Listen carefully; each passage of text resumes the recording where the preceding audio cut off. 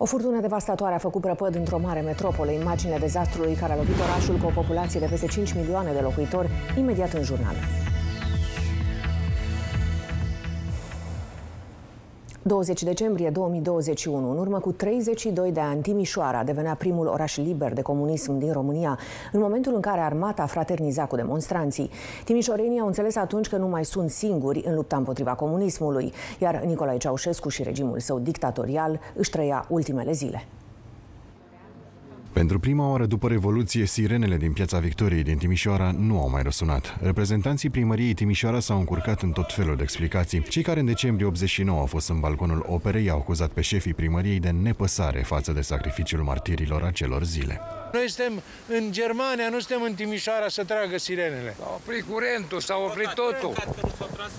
Păi cum să nu fie păcat? Dacă să nu fie Sunt păcat, niște bandiți păcat care... de sângele vărsat. Pe 20 decembrie 89, muncitorii fabricilor din Timișoara încetează lucrul. Se încolonează și se îndreaptă spre centrul orașului. Liderii comuniști încearcă să calmeze spiritele și vizitează întreprinderile mari. Sunt însă puși pe fugă de mulțimea furioasă. Orașul fierbe, iar frica oamenilor de organele de represiune a dispărut. Câteva mii de oameni se adună în fața comitetului de partid, iar soldații se retrag în cazarmă. Un grup de revoluționari intră în clădirea comitetului județean de partid. Au loc discuții cu prim-ministrul de la acea vreme, Constantin Dăscălescu.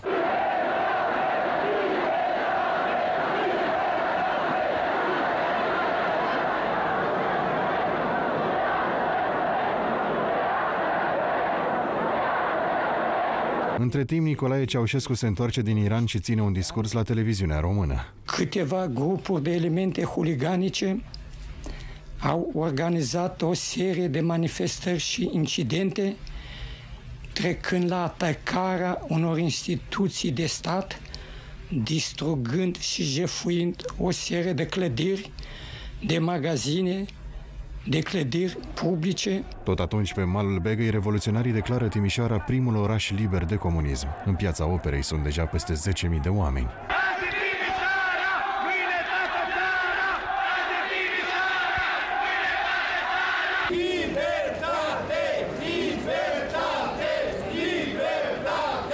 Sincer să fim, sacrificiul a, a meritat faptul că uh, ne-am gândit la viitorul copiilor noștri, noștri și la tineretul de astăzi în general, deci a meritat. Dar dacă dăm uh, cărțile în spate și ne uităm în ziua de astăzi la ce se întâmplă în uh, politic și uh, în țara noastră, în, în general, în ce situație am ajuns, cam uh, am îndoieli. Există acel remember care trebuie să ți-l aduci. Dacă ai fost și chiar dacă n-ai fost, e generația tânără.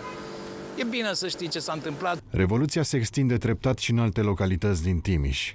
În urmă cu 32 de ani, timișorenii au ales să arunce comunismul la groapa de gunoi a istoriei. Prețul a fost însă unul mult prea mare, 93 de morți și 291 de răniți. După doar o zi, pe 21 decembrie 1989, flacăra Revoluției avea să se aprindă și la București, iar mai apoi în întreaga țară. Doar astfel, victoria împotriva comunismului a putut fi deplină. Pentru Focus, de la Timișoara, Ovidiu Vărădeanu, Prima TV.